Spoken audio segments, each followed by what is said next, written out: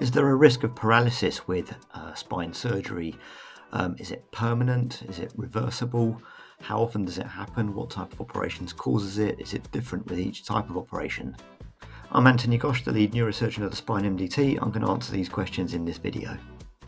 The reason I'm doing this video is that I've had quite a few inquiries about this recently from patients. There's a lot online about this subject when people or patients type in the name of their operations and also on discussion forums and on social media. Overall, the risk is very, very low, but I'm going to go into some of the details of different operations, what causes those risks, what can be and what can be done about it.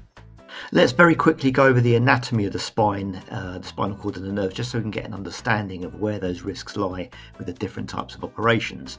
So um, the spine is a stack of bones starting from your pelvis, going all the way up to the skull. It's divided up into the cervical spine, which is the neck region, the thoracic spine, which is the bit that's encased and surrounded by your rib cage, and then the lumbar spine, of which there are uh, five bones. These stack of bones are made up of cylindrical blocks of bones stacked on top of each other with an arch of bone um, attached to the back. And if you stack them on top of each other with those arches, you form a tunnel down the middle, a canal, which contains and protects the spinal cord. This is a cross section here, that's the spinal cord there that runs up and down um, which is the main chunk of nervous tissue sending messages to and from from between the body and the brain.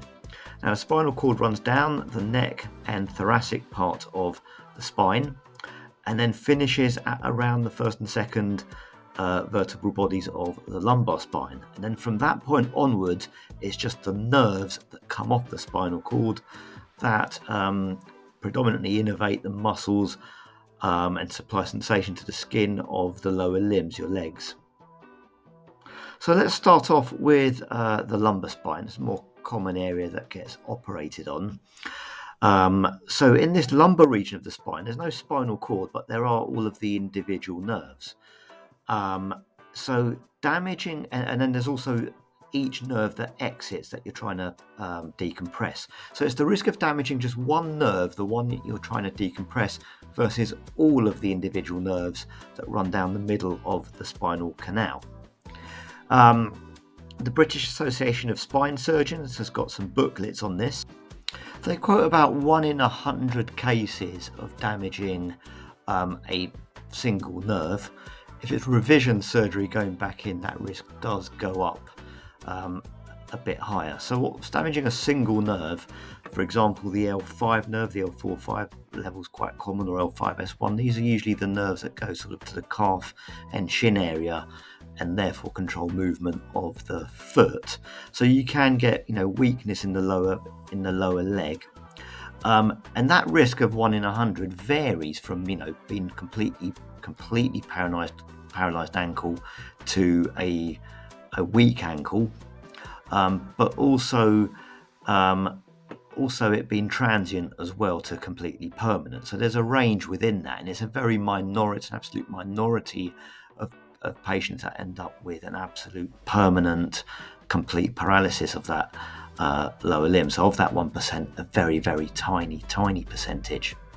Um, in the British Association of Spine Surgeons leaflet, it doesn't actually give a quote or a number for damaging all of these nerves and therefore causing complete paralysis of both lower limbs, uh, incontinence and impotence because of the nerves that go to your bladder and bowel. And that's because it's extremely rare. Somewhere else in the literature quotes, other quotes are in the region of one in 10,000. So it's extremely rare to damage all of these nerves and end up with a permanent uh, weakness of the lower lower limbs. One of the things that can cause it, though, is usually post-operatively, post-operatively any bleeding in this facility. You just get blood building up and compressing this bundle of nerves that goes down to your legs. Um, and that usually happens within the first few hours to the first couple of days after surgery, where patients start to notice severe pain worsening, and then the lower limbs start going in quickly. The surgeon should suspect this, um, scan you if appropriate, or sometimes take you straight back to theatre to try and evacuate or remove that blood clot and find uh, the bleeding point. That's very, very rare. Usually, if if if, if the repeat surgery is carried out fairly quickly, like within within the first couple of days, then um, you can you can usually expect to recover some, if not all, of that function, but that can take some time and that does vary from patient to patient. But again, this is all very rare. And that applies for most lumbar surgery, whether it's removal of a disc, uh, decompressing the spinal cord for stenosis, operating in that vicinity. Uh, so overall, it's very, very rare. And the reason being because you don't have spinal cord tissue there to cause complete paralysis, you do actually have to damage all of those nerves, which is actually quite difficult to do. But as I said, if there's a hematoma there, blood clot building up, compressing them over time, it can cause that. As long as you get in early and evacuate it, and most patients they do actually recover a lot, if not all of uh, their function. Now, higher up in the spine, things are a little different. Here we have this structure here called the spinal cord. So this is an MRI scan um, of the cervical spine, the neck part of the spine. And you can see the silhouette here. It's quite a detailed picture. You can see the skin of the front of the chest, the front of the neck here. You can make out the silhouette of the, the chin, the lips, and nose, back of the head, back of the neck here. So this here is the bottom of the brain within the skull. Across this line here where my mouse cursor is, is the opening at the bottom of the skull where the brain stem emerges and forms the spinal cord which is housed within this bony spine here. So that's the spinal cord running down and a bit of disc tissue here uh, compressing it. So operations to this part of the spine do carry a little more risk because the spinal cord itself is quite sensitive. Remember, it's only um, under a couple, a couple of centimeters of diameter, so it's very sensitive to damage. Any damage to the spinal cord itself will cause problems in the arms and legs, including complete paralysis. So going in through the front of the spine or the back of the spine can give you damage to again an individual nerve leaving at this level and give you a weakness of that level. And it's in the same order in the lumbar spine about one in a hundred um, or less. And again within that one in a hundred within that one percent there's still a variation of permanent weakness of say the arm um, versus a transient weakness and again a big variation between complete weakness or paralysis of the arm versus uh, a mild weakness which uh, can can recover. So there's a big range within that 1% so that risk is very very rare. Um, complete paralysis or damage to the spinal cord and causing therefore injury of anything that this part of the cord covers. So arms and legs uh, is rare, but a, a, recent review of all of the literature um, doesn't really put it as complete paralysis, but exacerbation of myelopathy. That means worsening of um, pre existing weakness in the arm and leg of anything from 0.2 uh, to 3.3% when you do a review of all of the literature. Now, there are a few reasons um, to why that happens to the spinal cord. Um, here we have a, a, um, a view of the, a, an illustration of the operation coming in from the front of the spine where we remove this piece of disc here that's compressing the spinal cord uh, to decompress it. Sometimes the process of doing this itself um, can cause what we call this kind of rebound edema or bruising of the spinal cord.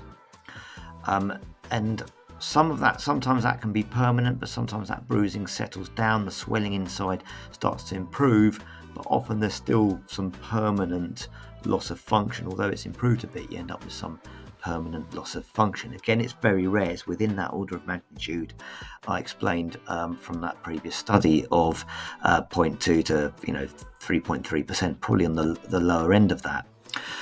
Um, direct damage to the cord as well from the instruments, or, or, sometimes damage to any blood vessels that supply blood and oxygen to the spinal cord can cause that which makes it a bit more uh, permanent.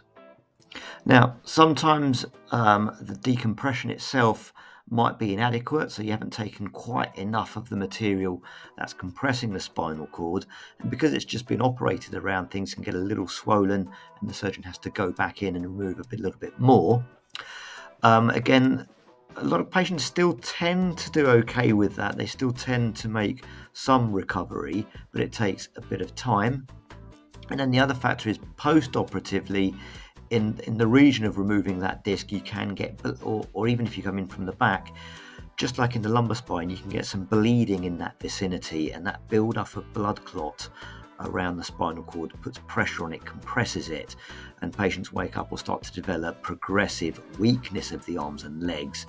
In that scenario, the, the surgeon should recognize it, the staff looking after you should recognize it, um, and then you can you should go back in straight away, evacuate that blood clot, and and if you can do it in a in in a good time frame. Um, some patients, a good number of patients, can expect some recovery uh, of that, and that time frame again of recovery varies. And lastly, the other thing I want to very briefly go over is um, metalwork in the spine, operations that require screws and fusion. There's a small risk of um, the screw being mis- uh, misplaced or malpositioned, as we call it. So here we have a cross section of the spine. This is the front, the back, knobbly bit of bone you can feel at the back, and this is the spinal canal in the middle. And what holds the arch, what forms the arch of bone at the back of these two structures here called the pedicles, and that's where we place uh, screws in the spine. Nowadays, we use techniques such as navigation or even with x ray guidance. You can get the, the, screw placed fairly accurately into that bone, but very rarely there is a risk of the screw coming across here going into the canal. Now, in the lumbar region, if that needs to be done in the lumbar region, the chances of that causing paralysis or damage to the nerves is extremely low. It's very, very low, way less than uh, one uh, and the you know the amount of times you have to revise the screws is is very, very low. In the cervical spine, higher up where you have the spinal cord, the trajectory of the screws you place is usually an outward manner, so it is more rather than going towards inwards. It's just a different type of screw system uh, that's used. There is a risk of that damaging an individual nerve rather than the spinal cord, but in very rare circumstances it can happen. Uh, damaging the individual nerve again it's in the region of 1% or less, and the requirement for revision is actually very, very low. So, yes, with spinal surgery, of course, there is a risk of paralysis or injury to nerves because that's the area we're working around, but it's very, very low. That risk is very, very low um, is always mentioned when uh, obtaining consent from a patient because that's informed consent. You need to know the risks um, before having a procedure done. You need to understand the benefits and the risks so that you can make an informed decision. But it's always the first thing that pops into everyone's mind. It's all over the internet. Um, overall, that risk is extremely low, but it is there, yes. So I hope you found this video helpful and I hope I didn't frighten you too much. The purpose of it was actually to try and put your mind at ease and explain how low these risks are. Um, if you found it helpful, please like the channel and click subscribe. That really helps people living with back and spine problems find this channel where I try and give useful information uh, to help them. There's a whole series of videos that are specifically related to the different types of operations on the spine. So I go um, into each operation in a bit more detail, explaining the benefits and risks and how it's done there. If I can help in any way, you can either leave a message down in the comments. I do try and answer them, but it's probably best to contact us directly through um, the website or email us and call us. Be very happy to help you. Thank you very much for watching.